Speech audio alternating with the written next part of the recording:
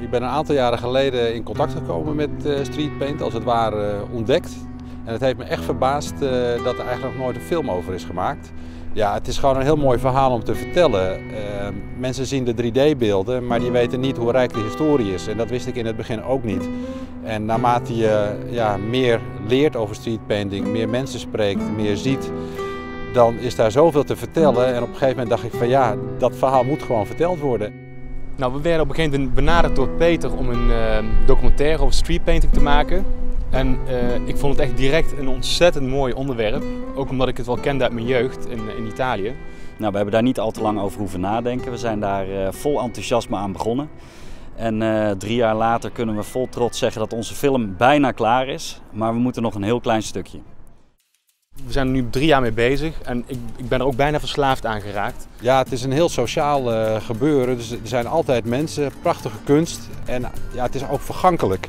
En het feit dat daar iets heel moois wordt gemaakt wat de volgende dag bijna weer weg is, ja, dat is een heel fascinerend uh, iets. Dus dat is ook de reden waarom wij ook nou ja, in het begin al meteen dachten van hier moeten we een film over maken. We zijn helemaal in de street paint movement gedoken en we hebben een aantal street painters geportretteerd. Die hebben we jarenlang gevolgd in uh, verschillende landen, op verschillende locaties. Ja, we willen dus echt een, een, een film maken over de wereldwijde beweging van street painting.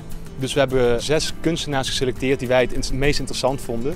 En zijn daar ook in die landen gaan filmen. Uh, we zijn in de uh, Verenigde Staten geweest, in Mexico. Uh, natuurlijk in Nederland, daar zijn we begonnen. Maar in Engeland, in Duitsland. In Rusland, en Italië natuurlijk, waar de kunstvorm zijn oorsprong vindt. Dus we, we kijken door de ogen van de streetpainters naar zeg maar, het fenomeen streetpaint. Hoe, wat hun beleving is, uh, hoe zij met de kunstvorm omgaan, uh, waarom ze het doen en uh, uiteraard wat ze ook maken.